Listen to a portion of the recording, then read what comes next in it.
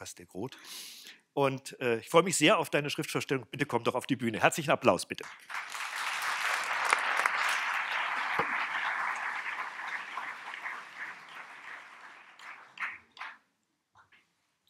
Danke für die Einleitung. Ähm, ja. Das mit dem Eigenwillig kann ich unterschreiben. Ähm. Ist jetzt wieder Wackelkontakt? Okay. Ähm, ja. Ähm, ich werde heute keine fertige Schrift vorstellen. Es ist mehr äh, eine Großbaustelle, ähm, die ich Norbert genannt habe. Ähm, und ich möchte so ein bisschen den Prozess erläutern, ähm, wie das bisher ähm, alles mehr passiert ist. Ähm, und sie ist nicht vor äh, Lukas entstanden, sondern währenddessen. Aber das ist auch alles egal eigentlich. Ja, vor zweieinhalb Jahren, nee, vor etwas über zwei Jahren, ähm, nach meinem äh, Masterstudium in Den Haag bin ich nach Berlin gekommen.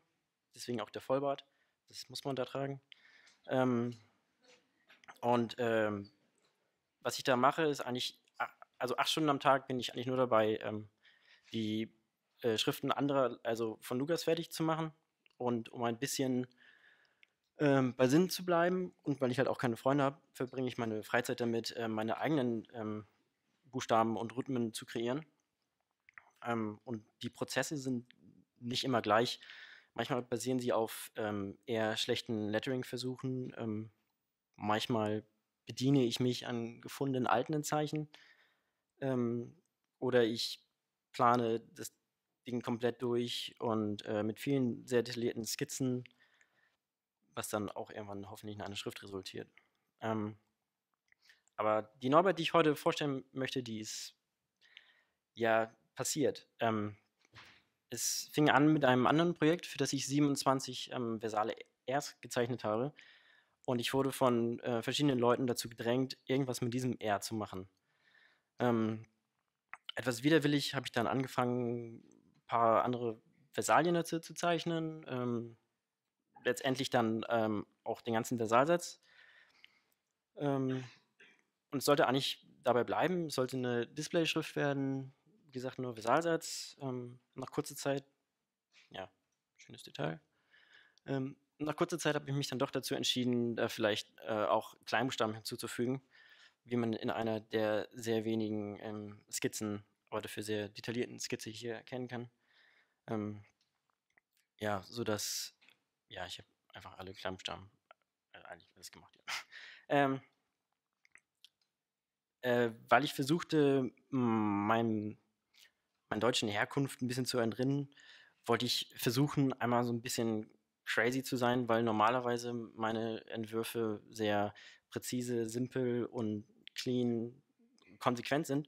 Wollte ich jetzt super toll verrückt sein und ähm, habe das versucht mit eher inkonsequenten äh, Formen, wie zum Beispiel runden und quadratischen Punkten.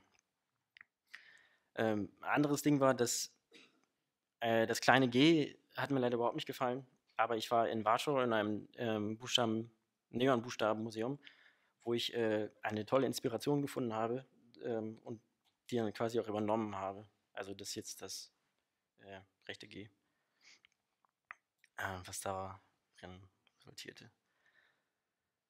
Äh, wenig später äh, trottete ich durch äh, St. Petersburg und äh, ich bestaunte nicht nur kyrillische Buchstaben, sondern auch lateinische, wie zum Beispiel diese hier. Ähm, das Quadratische hat mich eigentlich überhaupt nicht so interessiert, sondern mehr die Füße vom R und vom G, welche mich äh, dazu inspirierten, diesen leichten, etwas weiteren Schnitt zu machen.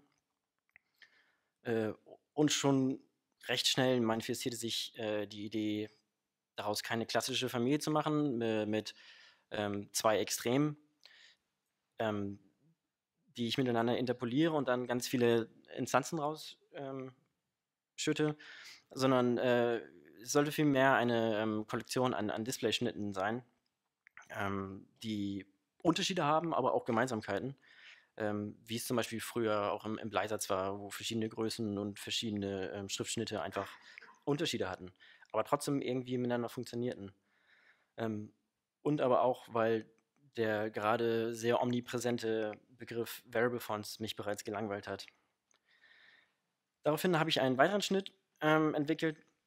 Ähm, zuvor hatte ich eine Tendenz zu schmalen bis sehr schmalen Schnitten, woraufhin ich mich einfach mal ein bisschen austoben wollte und äh, in die Breite gehen wollte. Ähm, und äh, dieser Zwischenschnitt sollte nun eine Schnittstelle zwischen den beiden Schnitten bilden. Äh, es ist eine Mixtur, es sollte, sollte ein, ein Mix sein aus, aus zum, Beispiel, zum Beispiel weichen Übergängen ähm, von, der, von der leichten, aber auch harten Übergängen von der fetten. Ähm, ich wollte aber auch, irgendwie hatte ich das Bedürfnis, was richtig Fettes zu machen. Ähm, währenddessen aber die, die Großbuchstaben mir so ein bisschen Kopfschmerzen bereiteten und äh, die Kleinbuchstaben mich ein bisschen schlaflos ließen. Ähm, weil dieses G einfach, also selbst für mich ist die Gewichtsverteilung nicht wirklich annehmbar.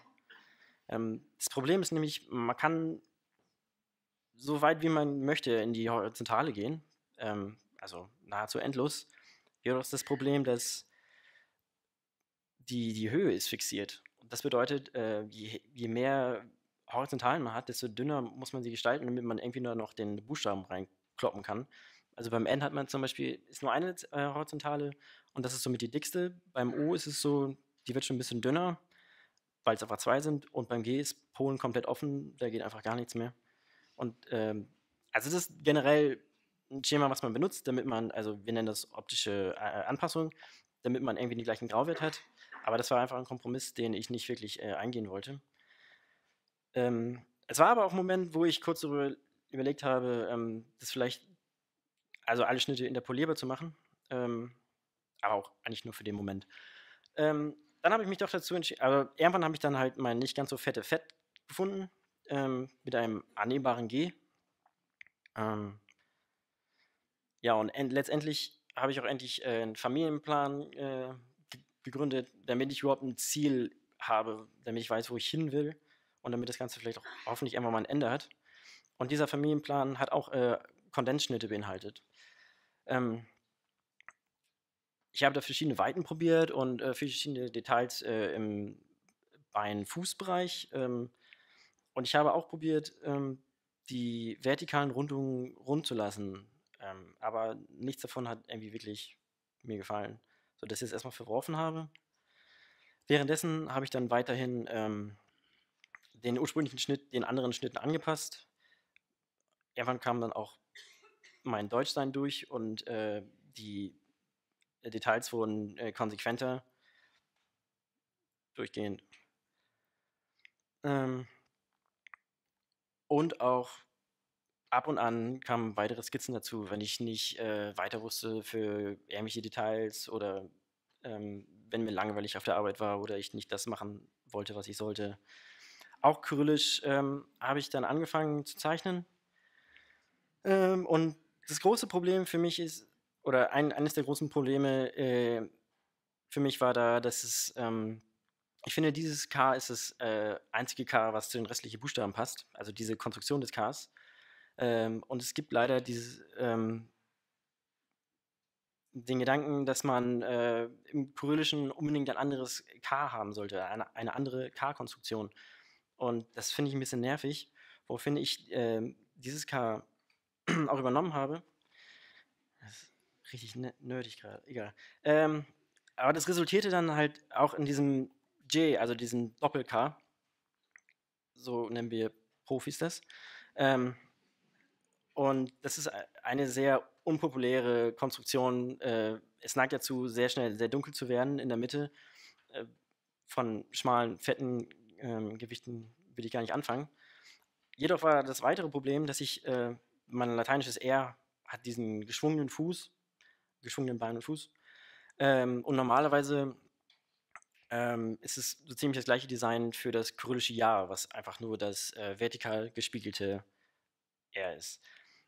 Jedoch steht das, das Jahr in der gleichen äh, Designgruppe mit dem K und dem J, worauf ich mich dazu, mich dazu entschieden habe, ähm, dem anderes Bein zu geben. Ähm, aber mit der Zeit habe ich das auch alles verworfen und es äh, endete in der letzten Reihe. Ich habe dieses Octopus J, was ich eigentlich überhaupt nicht wollte, und ein anderes K. Aber ich habe das tolle Jahr. Ähm, Kompromiss. Also, Norbert spricht also auch zumindest Russisch. Äh, ich wollte aber auch die ähm, anderen lateinischen äh, oder lateinisch, äh, anderen Sprachen, die auf dem lateinischen Skript basieren, nicht vernachlässigen. Und dafür braucht man ja in den meisten Sprachen äh, Akzente. Und ich habe mir gedacht, ja, weil es ja eine Display-Schrift ist, kann man die übertrieben groß machen, ähm, dass sie ganz funky aussieht. Aber ich habe mich dann doch dazu entschieden, sie äh, äh, sehr simpel und einfach zu lassen, ähm, sodass man auch zum Beispiel Tschechisch mit einem normalen Zeilenabstand setzen kann. Äh, irgendwann habe ich dann doch die, ähm, die Kondens gefunden, die mir gefallen hat.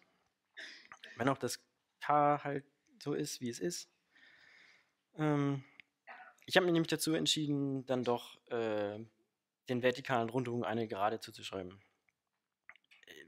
Ich, ich denke, bei, bei derartigen ähm, Kondensenkonstruktionen macht das durchaus Sinn.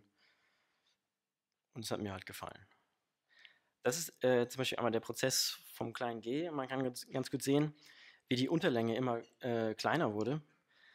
Ähm, ich, ich, glaube, wenn Buchstaben eine, eine sehr kondensierte Konstruktion haben, ähm, brauchen sie keine besonders ausladenden Ober- und Unterlängen. Und damit man das alles sowieso noch kompakt zusammenpacken kann, dann auch mit geringem Zeilenabstand nach später setzen, was ja für Headlines durchaus von Vorteil sein kann, habe ich mich halt dazu entschieden. Eine fette äh, Kondens sollte es auch noch werden. Ähm, zu Anfang war das ein bisschen schwierig, ähm, da irgendwie das äh, Weiß beziehungsweise jetzt das äh, Schwarz aus diesem weißen Block rauszumeißeln, um da einen erkennbaren Buchstaben rauszumachen. Aber irgendwann ging es dann doch relativ fix, ähm, worauf ich mir dann dachte, dass ich ja auch eine leichte Kondens machen könnte. Jedoch ist jetzt die Frage, wie fett, äh, wie dick oder dünn sie sein darf und wie quadratisch oder rund. Das ist alles noch ziemlich in der Schwebe und ich bin mir auch nicht wirklich sicher, ob es das jetzt ist. Ich glaube nicht. Ähm, naja, ein anderes Problem war dann auch noch ähm, die Buchstabenzuläufe. Also ich spreche von diesem Schniepel da oben. Ähm, am Anfang habe ich mir gedacht, ich mache die alle anders, also in der untersten Reihe. Ähm, weil darum, äh, als ich dann jedoch die Kondensschnitte gemacht habe, habe ich halt Gefallen an, an, an, dieser, an den Kontrast gefunden mit diesem dünnen Abstrich sodass ich das im Endeffekt jetzt auch für alle anderen übernommen habe. Und auch das ursprüngliche G ähm, hat sich dem Design der anderen Gs untergeordnet. Ja, und jetzt, ähm, also sie hat ja noch viele, viele Baustellen und eigentlich möchte ich ja auch noch eine Kursive dazu zeichnen, aber ich glaube, das macht nicht wirklich viel Sinn, ähm, solange die Aufrechten nicht fertig sind. Aber geplant sind sie äh, und falls, wenn hoffentlich bald und 100 Jahren, die dann irgendwann fertig ist, ähm, sofern äh, die coolen Leute bei Type sie noch wollen, wird sie dann da auch veröffentlicht. Und äh, danke für die Aufmerksamkeit.